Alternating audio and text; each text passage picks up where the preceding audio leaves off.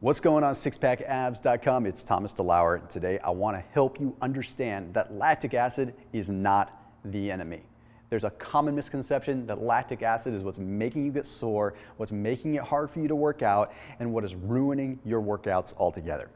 Hey, if you haven't already, I want to make sure that you check out my Science Based Six Pack Intermittent Fasting program that's down below in the description. It includes all of my workouts, but also includes my fasting strategy, including how to break a fast and how to start a fast. So that's down in the description. But for now, let's talk about some science. So lactic acid is a pretty simple compound when we really break it down. We have different kinds of metabolism in the body when it comes down to creating energy. We have aerobic and anaerobic. And through those processes, we have something known as pyruvate. Pyruvate is a particular component of creating energy within the body. But when we're working hard, pyruvate eventually gets converted into what is called lactate, hence lactic acid. You create lactate. Now, lactate is very acidic, but what a lot of people don't fully get is that lactate eventually enters back through a cycle and becomes energy again.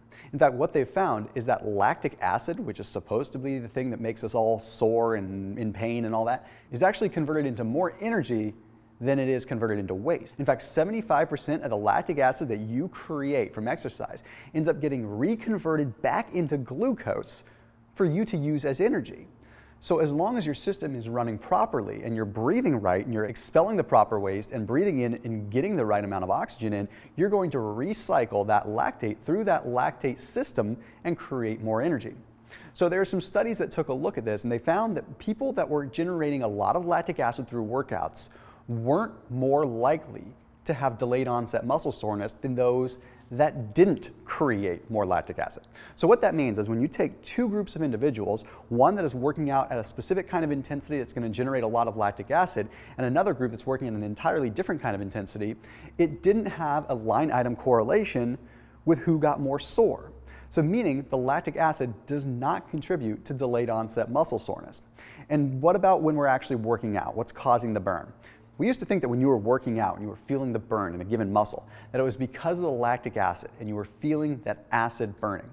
Well, that's not quite the case. In fact, what they're finding now is that when you work out, you create these excess hydrogen atoms. And these two excess hydrogen atoms, before they get converted into lactic acid, are actually what create the acidic environment within your muscle that causes you to fatigue.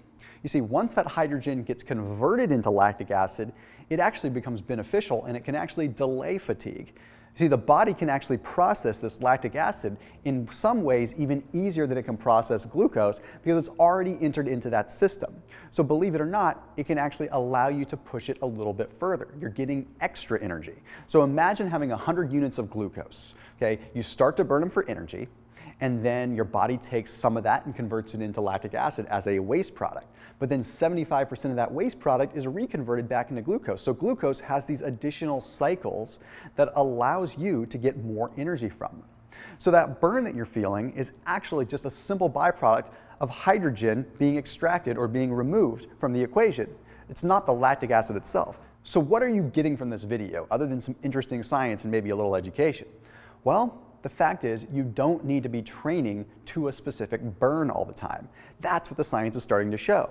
In fact, starting to show that proper periodization is more important than anything.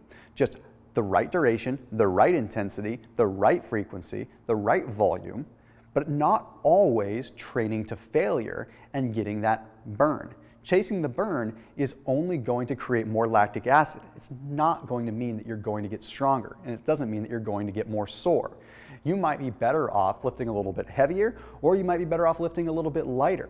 You want to lift in the way that you're going to allow yourself to recover the most because recovery is where you actually gain the strength and gain the actual stamina and endurance and power that you're looking for. So I no longer want you to think about the burn. I want you to focus on your heart rate. I want to focus on how much you're sweating. And I want you to focus on keeping periodized. Keep on a regiment, keep on a structure, and work out consistently so that you can make sure that you're constantly looking at the data and improving your physique that way rather than solely relying on the burn. There are many situations that might allow you to feel more of a burn on one day than you would on another. We have hormones to factor in, we have acidity levels within the blood and the saliva and all that that we have to factor in at specific points in time. All these different things make a difference, and they have nothing to do with the micro trauma that you are inflicting upon your muscles to actually get them to grow. So there's another myth busted. As always, keep it locked in here on sixpackabs.com, and I will see you in the next video.